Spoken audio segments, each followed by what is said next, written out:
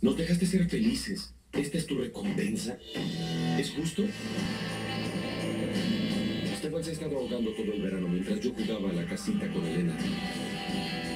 Stefan trata de contactarme. Solo sé que está asustado y que le duele mucho. Tenemos que encontrarlo.